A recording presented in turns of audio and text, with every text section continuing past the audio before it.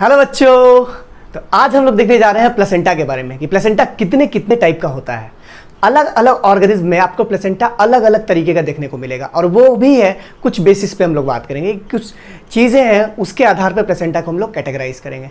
तो जो सबसे पहला कैटेगरी है प्लेसेंटा का, वो है on the basis of histology ठीक है?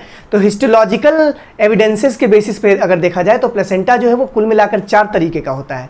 तो सबसे पहले हम लोग ओरिजिन देखते हैं कि प्लेसेंटा किस तरीके से एम्ब्रियो और मदर के बीच बनता है। ठीक है? तो सबसे पहले देखिए, चाहे कोई भी प्लेसेंटा हो, हम लोग एक तरफ़ एंडो एंडोमेट्रियल जो मदर का जो लाइनिंग है उसको बनाएँगे और दूसरी तरफ़ हम लोग एम्ब्रियो को लेकर चलेंगे और दोनों को हम लोग देखेंगे कि किस तरीके से आखिर ये काम करता है। ठीक है? तो सबसे पहले ये देखिए, ये जो स्ट्रक्चर हम बना रहे हैं ये है ब्लड वेसल ठीक है? तो ये हो गया ब्लड वेसल अब ये किसका ब्लड वेसल है? तो हम लोग बात करेंगे अभी। यहाँ ये जो आप डॉट्स देख रहे हैं, इसको हम लोग थोड़ी देर के लिए मानकर चल रहे हैं कि ये कनेक्टिव टिश्यू है। क्या ये? कनेक्टिव टिश्यू और ये कनेक्टिव टिश्यू जो है, इसके आसपास आपको ये मिल गया कॉरियन वाला लाइन, जो एम्ब्रियो के एक्स्ट्रा एम्ब्रियोनिक मेम्ब्रेन से बना हुआ होता है। इसके जस्ट अगर नीचे बात करें तो एक लेयर हम लोग ले ले रहे हैं, ये वाला। ये है इंडोमेट्रियम का लाइनिंग ठीक है? जिसे हम लोग डेसीड्यूआ भी बोलते हैं, हम लोग कई एक बार इस वर्ड को यूज़ भी किए हैं। यहाँ पे नीचे में भी आपको देखने को मिलेगा कनेक्टिव टिश्यू तो ये हो गया कनेक्टिव टिश्यू और यहाँ पे ये हो गया ब्लड वेसल तो आप ध्यान दीजिए, आपको यहाँ गौर क्या करना है? गौर ये करना है कि कितना स्ट्रक्चर हम लोग बनाए हैं यहाँ पे। तो यहाँ पे स्ट्रक्चर बनाए हैं एक, दो, तीन, चार, पाँच और छः। ये कुल मिलाकर छः स्ट्रक्चर्स हैं। अब सारे के नाम देखते हैं। ये जो ब्लैक वाला रीजन आप लोग देख रहे हैं, इसको हम लोग थोड़ी देर के लिए मान लेते हैं। ये क्या है? तो ये एम्ब्रियो साइड ऑफ़ प्लेसेंटा है। ये हो गया एम्ब्रियो साइड ऑफ़ प्लेसेंटा और ये जो रेड वाला जो रीजन है, ये रेड वाला जो रीजन है ये रेड वाला जो रीजन हो गया, ये हो गया मदर साइड ऑफ़ प्लेसेंटा ठीक है? तो एक एम्ब्रियो साइड ऑफ़ प्लेसेंटा भी होगा और एक मदर साइड भी प्लेसेंटा होगा। और दोनों के बीच एक कॉम्बिनेशन बनता है, एक कनेक्शन बनता है। उसके बाद मदर से न्यूट्रिशन जो है वो एम्ब्रियो में ट्रांसफ़र होता है।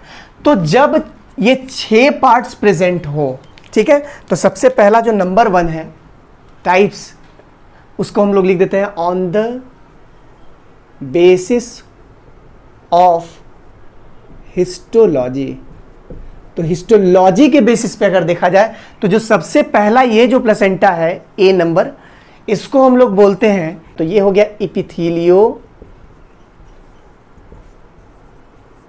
कॉरियल प्लेसेंटा ठीक है?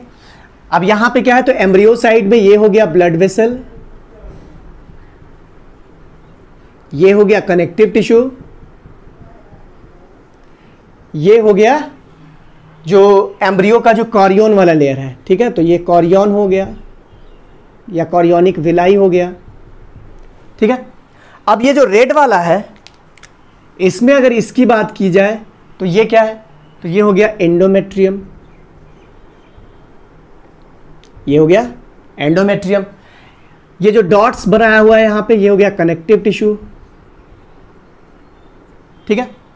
और ये है मदर का ब्लड वेसल ब्लड वेसल क्योंकि यहाँ पे तो ऑलरेडी लिखा हुआ है ही कि कौन एम्ब्रियो साइड का है और कौन मदर साइड का है। तो जब ये छह कंपोनेंट्स ये जो छह कंपोनेंट्स है, सारे प्रेजेंट होंगे तो उस तरह के प्लेसेंटा को हम लोग क्या बोलते हैं? इपिथीलियो कॉरियल प्लेसेंटा तो एपिथीलियो कॉरियल प्लेसेंटा जो है, इसमें क्या हो गया? Six layers separate maternal and embryonic connections आपको यह याद रखना है, ठीक है? अब जो दूसरा है, दूसरा जो प्लेसेंटा का टाइप है, उसको बोलते हैं हम लोग सिंडेस्मल ठीक है? दूसरा जो टाइप है, उसको हम लोग क्या बोलेंगे? सिन डेस्मोकोरियल प्लेसेंटा अब इस प्लेसेंटा में अगर बात किया जाए तो इसका भी हम लोग स्ट्रक्चर देख लेते हैं। तो इसके स्ट्रक्चर में ये हो गया एम्ब्रियो का ब्लड वेसल ये हो गया इसके आसपास का कनेक्टिव टिश्यू ठीक है? ये हो गया इसका कॉरियोनिक विलाई वाला पोर्शन ठीक है? अब जस्ट इसके नीचे हम लोग क्या देखेंगे? इसके जस्ट नीचे में आप अगर देखें सिंडेस्मो कॉरियल, ठीक है? तो यहाँ पे क्या होगा? कि यहाँ केवल और केवल पाँच लेयर है जो कि मैटरनल और एम्ब्रियोनिक, मैटरनल और एम्ब्रियोनिक जो कनेक्शन है उसको सेपरेट कर रहा है, ठीक है? तो यहाँ पे देखिए, एक नंबर वन ये हो गया ब्लड वेसल नंबर टू हो गया कनेक्टिव टिश्यू नंबर थ्री हो गया कॉरियोनिक पार्ट ऑफ़ एम्ब्रियो और यहाँ पे देखिए एंडोमेट्रियम जो है, उसको तोड़ता हुआ ठीक है? एक्चुअली होता क्या है ना कि ये जो कॉरियन है धीरे धीरे जो ये एंजाइमेटिक सिक्रीशंस को सिक्रीट करता है, जिस कारण एंडोमेट्रियम का जो लाइनिंग है, वो लाइनिंग डिजोल्व हो जाता है और डायरेक्टली ये जो कॉरियोनिक पार्ट है, ये ब्लड वेसल्स कनेक्टिव टिश्यू में आकर के डिप कर जाता है, ठीक है? तो यहाँ पे क्या हो गया? Only five layers are present ठीक है? इस तरह का सीन डेस्मोकोरियल प्लेसेंटा में केवल और केवल क्या होगा? पाँच लेयर्स प्रेजेंट होंगे, ठीक है?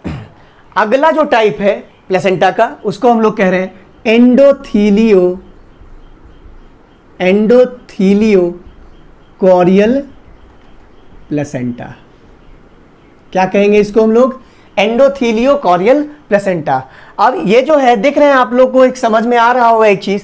कि धीरे धीरे जो लेयर्स हैं, वो धीरे धीरे कम होते जा रहे हैं। तो यहाँ पे था छः लेयर यहाँ था पाँच लेयर अब यहाँ क्या हो जाएगा? एग्जैक्टली exactly चार लेयर हो जाएगा। एक लेयर और क्या हो जाएगा? रिड्यूस हो जाएगा, ठीक है? तो रिड्यूस कैसे होगा, ये हम लोग देखेंगे। फिर से वही। ये हो गया embryo side of blood vessel इसके आसपास का कनेक्टिव टिश्यू और ये हो गया ये हो गया कॉरियोनिक पार्ट ऑफ़ एम्ब्रियो इसके नीचे अगर बात किया जाए तो केवल और केवल आपको क्या मिलेगा देखने को? तो मदर का ब्लड वेसल केवल मिलेगा। यहाँ पे क्या हो गया? तो यहाँ पे सबसे पहले एक बात और लिख देते हैं, ठीक है? क्या हो गया? तो यहाँ पे endometrial lining is dissolved due to the enzymatic secretion enzymatic secretion of chorionic villi तो कॉरियोनिक विलाई जो है, उससे कुछ एंजाइम निकला, वो एंडोमेट्रियम को डिसॉल्व कर दिया। That's why there are five layers in this type of syndesmochorial placenta यहाँ क्या हो रहा है? यहाँ पे कनेक्टिव टिश्यू भी गायब हो गया। अब केवल और केवल क्या रह गया है? तो ब्लड वेसल रह गया। That's why it is called endotheliochorial placenta केवल और केवल एंडोथेलियम मदर साइड में केवल और केवल एंडोथेलियम यानी ब्लड वेसल बचा है। एंडोथीलियम या इसी को हम लोग क्या बोलते हैं? ब्लड वेसल ठीक है? तो यहाँ पे क्या हो गया? Only four layers are present केवल और केवल क्या है बाबू? तो चार लेयर प्रेजेंट है, ठीक है?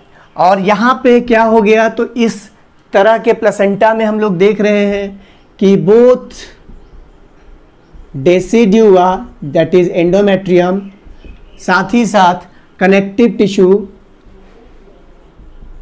connective tissue are degraded दोनों खत्म हो जाते हैं, ठीक है?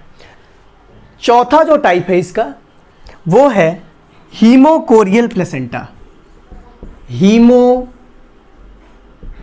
कोरियल प्लेसेंटा ठीक है? हीमोकोरियल प्लेसेंटा अब ये हीमोकोरियल प्लेसेंटा क्या है? तो इसमें एम्ब्रियो पार्ट एम्ब्रियो साइड का सब कुछ होगा एज यूजुअल पहले की तरह, ठीक है? लेकिन इस बार क्या हो रहा है कि मदर साइड में ब्लड वेसल्स नहीं होगा, केवल और केवल ये जो कॉरियन वाला जो पार्ट है, ये डायरेक्टली डिप्ड होगा, ये डायरेक्टली डिप्ड होगा ब्लड ब्लड में। ठीक है? यहाँ से कनेक्टिव टिश्यू ख़त्म है और ये डायरेक्टली कॉरियोनिक पार्ट जो है, ये ब्लड में डिप्ड है। ठीक है? ये ब्लड में इस तरीके से डिप्ड है। ठीक है? तो यहाँ पे इसको लिख देते हैं कि chorion chorionic villi is directly dipped in blood that's why it is called hemochorial मतलब क्या हो गया कि कोरियोन वाला जो पार्ट है, वो ब्लड में क्या हो चुका है? डिप हो चुका है और यहाँ पे क्या क्या एबसेंट है? तो यहाँ पे एबसेंट है blood vessel decidua and connective tissue are absent और ये डायरेक्टली ब्लड में डिप्ड होता है यहाँ पे। इस तरह का प्लेसेंटा आपको देखने को मिलेगा ह्यूमन में तो ह्यूमन में आपको बेसिकली याद रखना है। ह्यूमन में। ठीक है? तो ह्यूमन का जो प्लेसेंटा है, वो हीमोकोरियल टाइप ऑफ़ प्लेसेंटा होता है on the basis of histology tissue के बेसिस पे देखा जाए तो। अब अगला जो चीज़ है, वो हम लोग नेक्स्ट वीडियो में देखेंगे। वीडियो अगर आपको अच्छा लगता है तो आप इसे लाइक कीजिएगा। और अगर आपको लगता है कि नॉलेजफुल है तो आप इसे सब्सक्राइब भी कीजिएगा। वीडियो को शुरू से लेकर के अंत तक देखिएगा। हम लोग मिलते हैं नेक्स्ट पार्ट में, तब तक के लिए अपना ध्यान रखिए।